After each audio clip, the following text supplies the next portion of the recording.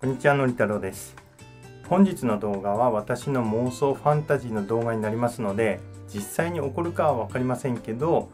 まあ、最初にお伝えしておきますただし妄想好きでこちらも有名な世界経済フォーラムのクラウス・シュアブさんの妄想に基づいた妄想なので、まあ、根拠が全くないかというとそういうわけではないかなと思いますまあ、ただ今の日本のカオスな政治家さんたちの動きを見ると、まあ、もしかしたらと思うような内容になっているのかなと思います。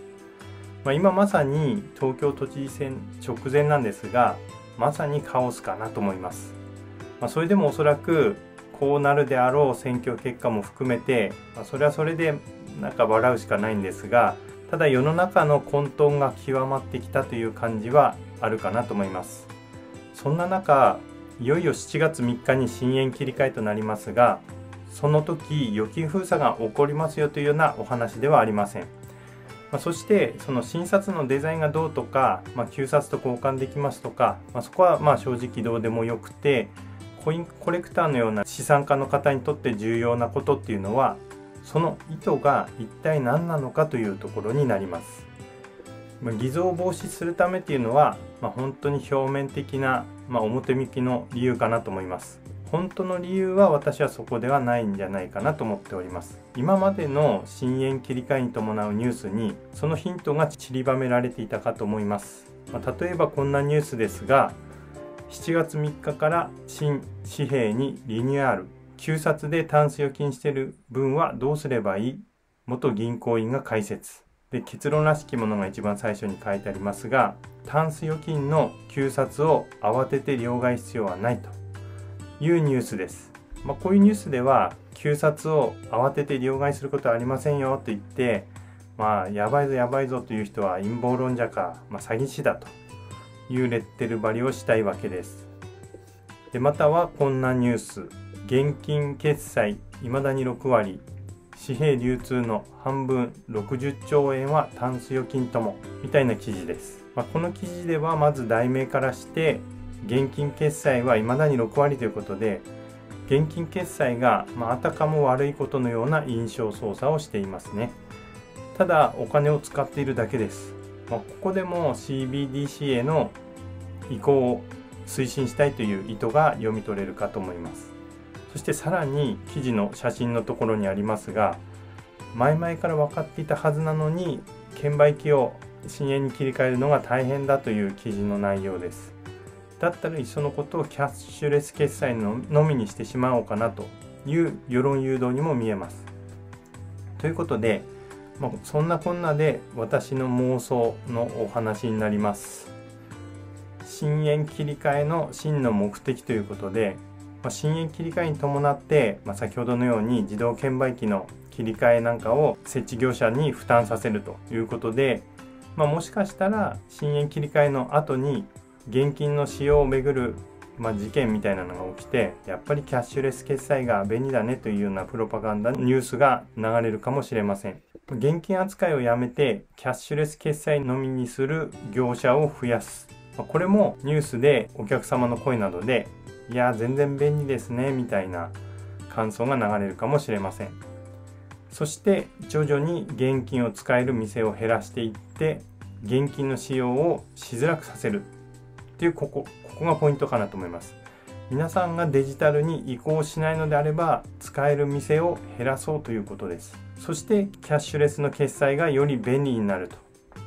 で CBDC への抵抗感をなくしていくわけです。これがポイントかなと思います。そして CBDC へスムーズに移行すると、まあ、最初はお札と併用してもいいんじゃないかなと思います。ただその後はやりたい放題だと思います。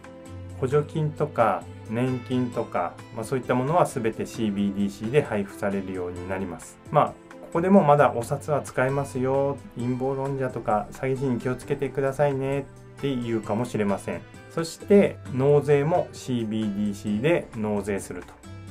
でこれも妄想ですがここでもまたお札は使えますよ。頭の悪い陰謀論者に気をつけてくださいね。みたいな街の声もですね、えー、納税も簡単で便利ですねみたいな流れになるかもしれません、まあ、もしかしたら税金の優遇もつけちゃうかもしれないですね、まあ、こうなると袋のネズミだと思います。ある日突然もうキャッシュレスがだいぶ進んだので現金は来月から一切使えなくなりますよと。その後はお札と交換レートが2対1になりますみたいな例えばですけどお話をすればつまり旧札今のお札2万円で CBDC1 万円ですよって脅す脅しをかけるわけです。でその頃には例えば給料とかも CBDC になってたりすると思いますので実質的にはタンス預金への出飲みっていう形になるかと思います。そしてそこに天からの助け舟みたいなのが来ます。ただ今月中であればまだ1対1の割合で交換できますよと。急いで銀行にお札を持ってきてください。っていう記事を出せばそうなれば日本中のタンス預金が我先にと銀行に入ってきます、まあ、当然そこには警察と国税が待機しているわけです。で悪質な場合は逮捕者も出るかもしれませんが重加算税で免税してあげますという場合も多くあるかもしれないです。つまりこれはタンス預金への実質的な財産税に等しくなるわけです。という私のただの妄想でしたがおそらくおそらく政府の狙いは当面はここにあるんじゃないかなと思います。まあ、当面というのは通過点ということです。まあ、おそらくそして本当の目的っていうのは CBDC に変わった後の全体主義的な国民の支配にあると思います。まあ、こうなれば家畜同然かなと思います。好きな時に気に入らない人から財産を没収して、まあ、家畜を処分するようなことが簡単にできるようになります、まあ、そうなってもアンティークコインさえあれば大丈夫かというと全然ダメじゃないかなと思います。CBDC に変わった後はアンティークコインをどこで買っても、まあ、いつ誰がどこで買ったのかっていうのが完全に把握できますし、まあ、それが証明できないだけで例えば脱税とかもしくはマネーロンダリングの疑いをかけられて重い税金が課せられる可能性があります。それどころか CBDC に変わった頃にはアンティークコインは高騰しすぎて高すぎてむしろ買う側としては買えなくなっている可能性もあります。なので今のうちにタンス預金はアンティークコインにでも買えるのが正解だと思いますがそれだけでは足りないと思います。買ったアンティークコインはプライベートカンパニーに現物資産として役員貸付金として貸し付けて会社の持ち物として極めてクリーンな形で資産を保存しておけば良いわけです。まあ、これを分かりやすく例えますと例えばトヨタ自動車のような会社から会社の資産である工場を没収するような話と同じようになります。まあ、そんなことを普通に考えたら国にできるはずがありませんね。普通じゃない世の中ではもしかしたらそういうことも起きるかもしれませんがリスクとしては極めて低いということことになりますので、まあ、安全性が極めて高いんじゃないかなと思います。先ほど個人のタンス預金が狙われているのと比較すると会社にアンティークコインを貸し付けておくっていうのは天と地の差があるっていうのはお分かりいただけたでしょうか。まあ、片や犯罪者扱いで多額の税金実質的な財産税がかかるかもしれないということに対して片やトヨタ自動車の工場のと同じような会社の資産何も悪いことがないクリーンな資産になります。しかもこの場合先ほど想像したような変なことが例えば起こらなかったとしても売る時とかお子さんやお孫さんに相続する時に税金も自由自在にコントロールできるというスペシャルな特典がありますので対策しておいて全く損しないと思います。しかもただコインを保存するだけの会社であれば税理士さんも必要ないと思いますしその場合維持費は毎年7万円程度。まあ実質的なところでは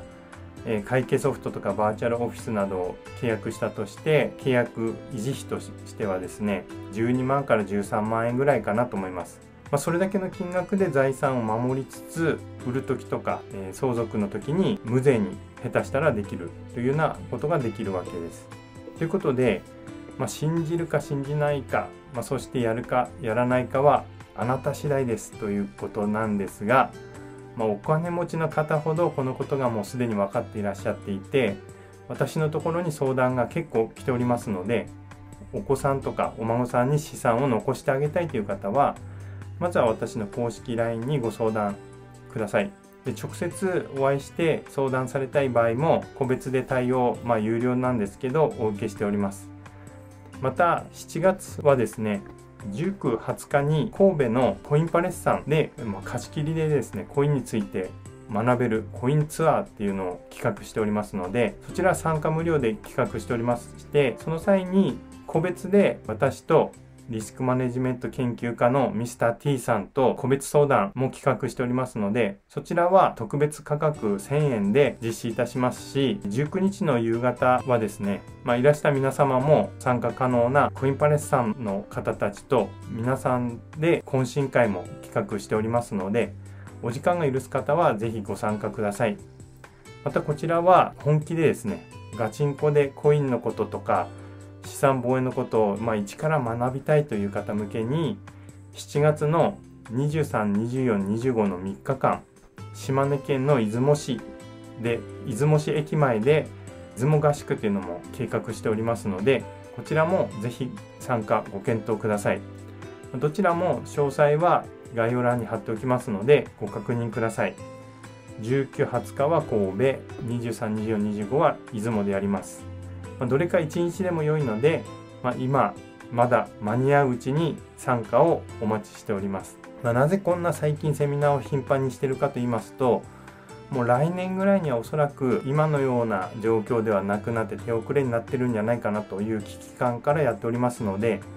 おそらく今年にはこういうセミナーっていうのは今年いっぱいぐらいしかできないんじゃないかなと思っております。ということで今回のお話は以上になります。いつも見てくださっている方、本当にありがとうございます。それでは最後、皆様一緒に、レッツコインご視聴ありがとうございました。